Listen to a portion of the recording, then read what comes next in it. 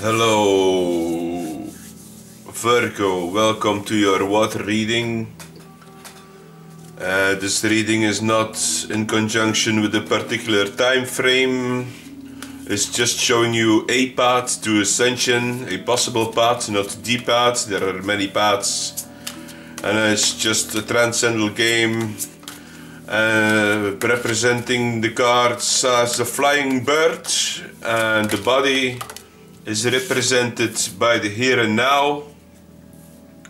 And we have innocence coming out as a card for you, Virgo. And the other cards are representing the wings. And these wings are put out by the Lo Scarabeo deck. And they represent your fear, your responsibility to that fear, the ability to respond to that fear is I what I want to say with that the intuition the intelligent action the point of relaxation and acceptance and where you find your peace of mind and of all and at the end it is the arrival. So let me just pull out these cards. This is your fear coming out the ability to respond to that fear. Let me just show the card straight away. The intuition you have, the intelligent action towards that, uh, the point of relaxation and acceptance in your midst, and of course, the outcome or the arrival in where you can send yourself so let me go to Innocence, which is a major arcana. For you in your liftoff, the point of where you can start from, the Innocence. So that is page 40. You read it out. It's a very beautiful chapter in this book. I already read it a few times. The old man in this card radiates a childlike delight in the world. There is a sense of grace surrounding him, as if he is at home with himself and with what life has brought. He seems to be having a playful communication with the praying mantis on his finger, as if the two of them are the greatest friends. The pink flowers cascading around him represent a time of letting go, relaxation and sweetness. They are a response to his presence, a reflection of his own qualities. The innocence that comes from a deep experience of life is childlike, but not childish. The innocence of children is beautiful, but ignorant. It will re be replaced will, by mistrust and doubt as the child grows and learns that the world can be a dangerous and threatening place. But the innocence of a life li lived fully has a quality of wisdom and acceptance of the ever-changing wonder of life. So the innocence says that if you drop knowledge, and within knowledge everything is included, your name, your identity, everything, because this has been given to you by others. If you drop all that that has been given to you by others, you will have a totally different quality to your being, innocence. That will be a, a crucifixion of the persona, the personality, and there will be a resurrection of your innocence. You will become a child again, reborn. So to continue this reading, you have your liftoff from innocence, and within your fear, you have security, representing the Four of Pentacles. This is definitely representing a computer screen with password, and definitely representing security. So you have a fear about your security, Virgo. So what is uh, the responsibility to that fear? Is about knowing there is a cage around you you cannot see representing the eight of swords. And let me have a little quick checkup what this eight of swords exactly means in this deck.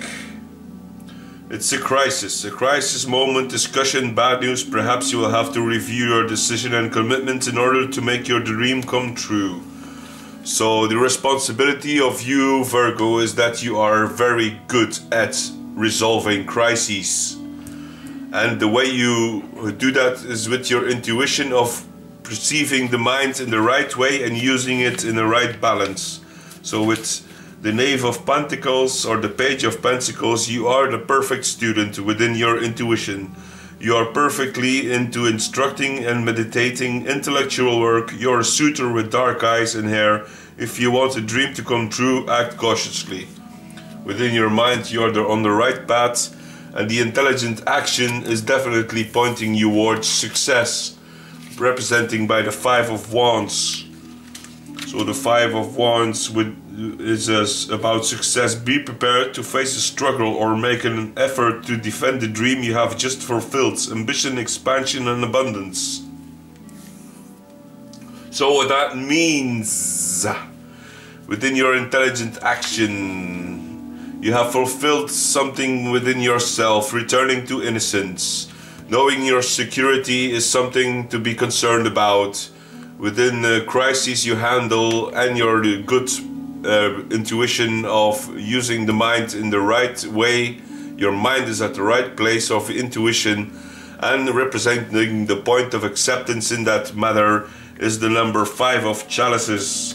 And let me read it out fast. It's about happiness. You are happy if you are in your elements and at point of relaxation. Dreams of love become reality reconciliation, propitious encounters, a question of love is resolved positively, joy from sons and daughters.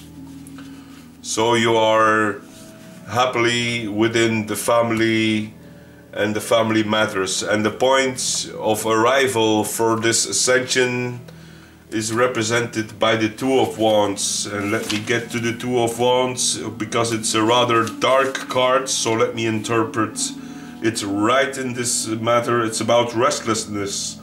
In order to obtain what you want, you will have to face radical change or stop hesitating, possible sadness or regrets. So at the arrival, it is a rather dark card about restlessness.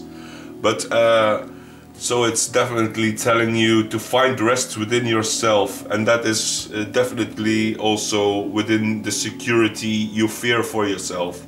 So restlessness and security is something you will have to keep in mind for your advancement in uh, enlightenment in ascension. So do find the balance uh, within whatever you have fulfilled already for yourself. Don't take it for granted, for sure. Uh, be in your security that you are on the right track within your intuition. You're using your mind the right way. So I guess I will conclude this reading here. Take care and I hope you enjoyed it. Do give it a thumbs up and check you later. Bye.